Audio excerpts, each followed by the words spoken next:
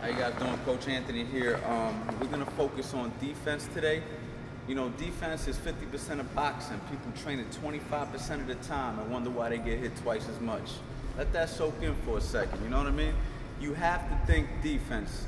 The old timers used to tell me when I was coming up, you should learn a good defense before a good offense, and it's the truth. Because anybody could throw a punch. It's not about just throwing a punch when you're boxing. It's about being able to avoid punches, slip punches, counter punches, block punches.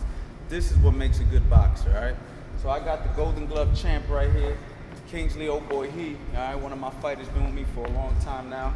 He's gonna be my demonstrating partner. And what we're gonna do is we're just gonna start off, you know, from the very beginning, all right? So what he's gonna do is he's gonna throw a jab at me and I'm gonna block it. The way I'm gonna block his jab, all I'm gonna do is open my palm, face it toward my opponent. So you notice I got my right hand by my chin protecting the hook. As soon as that jab comes, bang. All right, so when he goes ahead and he throws that jab, bang. All right, one more time, bang. Okay, one more time, bang. All right.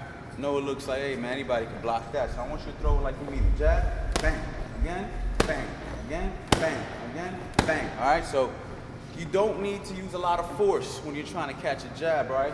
Common mistakes that I see beginners do, throw jab, they'll reach for it. Sometimes they do block it, but then they leave their face open. He throws the left hook from this position, bang, he ends up countering me. That's a big dangerous thing. You don't want to do that. So all you want to do is open your palm, slightly catch the shot. One more time, bang, speed, bang, speed, bang, speed, bang. All right, that's how you block a jab. From right here now, we're gonna get right into the straight right hand, okay? So to block a straight right hand, as you can see, I'm in basic boxing stance. All I'm gonna do is bring the hand up to my temple, and I'm gonna let the glove do all the work. He's gonna push the glove. I'm gonna feel some impact, but it's better than getting hit clean in the face, all right? So what he's gonna do is he's gonna throw a straight right hand. I'm gonna catch it, okay? As you can see, I'm in position, do it one more time.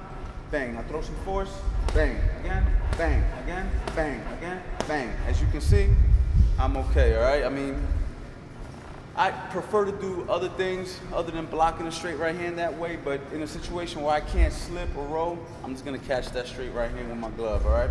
Now with the left hook, you know, and southpaws, bear with me, just do everything from the opposite side, okay? I'll even make a video for orthodox versus southpaw in the future, but for right now, just bear with me and imagine that you're boxing another southpaw, okay? Do everything from the opposite side. But anyway, we're gonna get into the left hook.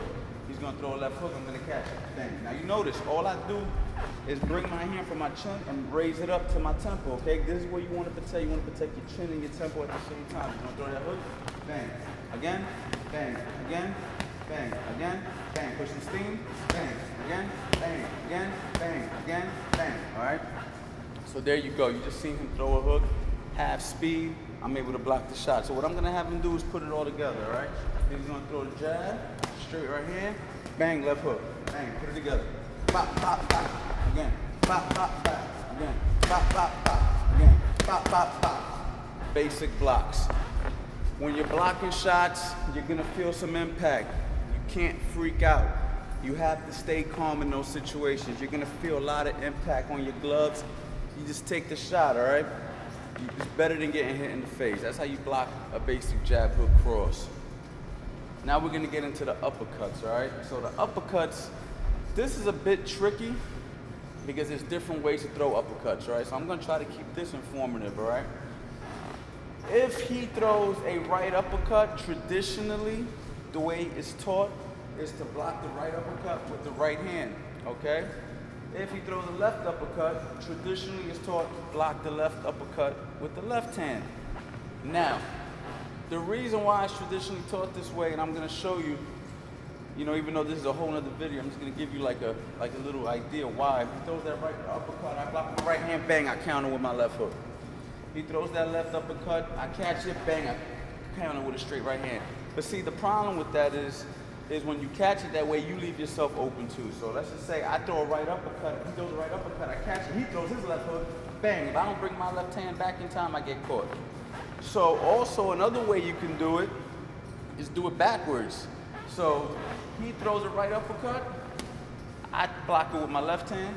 He throws a left uppercut, I block it with my right hand. Now there's less chance of him countering me with the same hand. If he throws that straight right hand, look, my hand is up. If I catch it the opposite way on this side, throw with the left hand, right hand, I'm sorry, do it with the right hand, Boom, if he throws that left hook, my hand's already there. I already tied this hand up, so now he's not gonna be able to counter me. So you could do it opposite. So it just depends on the situation, whether you're planning on countering or you're just planning on completely avoiding the shot. But in my opinion, better than both of those, the safest bet when you're blocking an uppercut is literally just catch it with your forearms with your hands up. So he throws the right uppercut, I catch it with my forearm right here, with my left side, goes the left one, bang. Now from right here, if you notice, I got both hands up. He throws, let's say he throws that right uppercut again.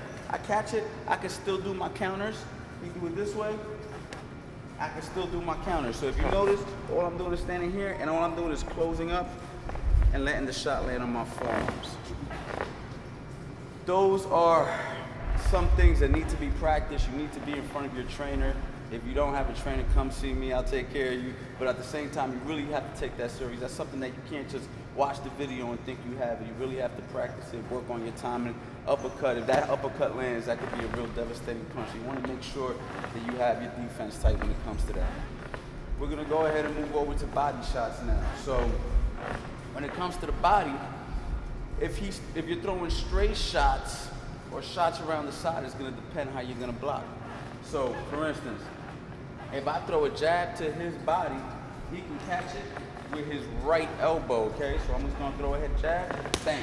See that? I'm gonna do it again, bang. Again, bang. Common mistakes that I see people do. Throw a jab, and I'm gonna block it, right? Throw a jab to my body. Common mistake I see people do, they try to do this and move their hand out the way, and then that left hook comes. All right, or he fakes the jab to my body and bang, catches me. So you're gonna make sure you catch those straight shots with your elbow.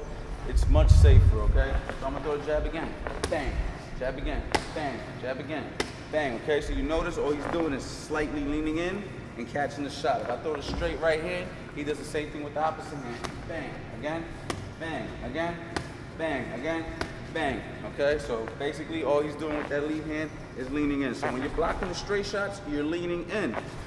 You're doing the same thing when it comes to leaning when you block your shots around the side, but this, instead of leaning with your elbows in, you're bringing your elbows to the side of your body. So now I'm gonna throw a right shot around the side, he catches it, left shot around the side, bang. See that? Bang, bang. Put some steam on it, bang, bang. See that? He's fine. Throw those same shots against me. Let's go bang, bang, again, bang, bang, again, bang, bang. So you notice, only thing we're doing is going bang and bang. We're catching the shot. We're just leaning and we're keeping our elbows positioned where the shot's coming. If the shots are coming up the middle, I catch it with the top of my elbow right here. Hopefully I can hurt the top of their hand. They come around the side, I just bring the elbows to the side and lean to that side. You can also do something else that I call rolling punches, okay? So we're gonna come right back up top. All right, so as you can see, we're up top now. And if I throw a straight right hand, the way I blocked it in the beginning, what I taught was just to catch the shot. But what we're gonna do now is when I throw that shot, you slightly roll your, your, your upper body as I'm throwing the shot. So I'm gonna throw a straight right hand, he rolls. Again, he rolls. Again, he rolls, okay? So all he's doing is rolling away from the punch and bringing his hand up at the same time.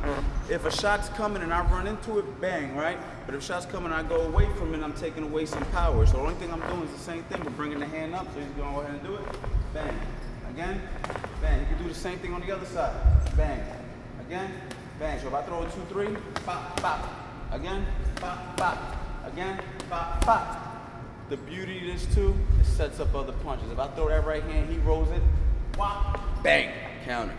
If I throw that left hook, pop, bang, push you in position to counter. That's a whole nother video, okay? Now we'll go ahead and do the same thing to the body. If I throw the straight right hand to the body, he's gonna roll with his lead hand, just like when I threw it up top and he rolled it, gonna do the same thing with the body. Bang, okay, again. Bang, again. Bang. If I throw a left hook to the body, bang, again. Bang, again. Bang. All he's doing is rolling his body, putting himself in a good position to counterpunch. Those are your basic blocks, rolls. You know, that's a pretty detailed explanation, I think. I think that'll help. I think you just need to work everything one step at a time. So make sure you run, you know, watch this video, And you know, just start with one punch. If it takes you a couple of weeks just to get comfortable blocking that jab, those jab at me, just get you, just do this for a little while. Once you feel comfortable, then add the one, two, bang, bang, right? The one, two, bang, bang, and the one, two, three, bang, bang, bang, good. You know what I mean? Start adding those progressively. Don't just rush into the whole video and try to do everything I just said in one take, okay? So I hope that helps. Make sure you like, subscribe, share the channel. Boxing.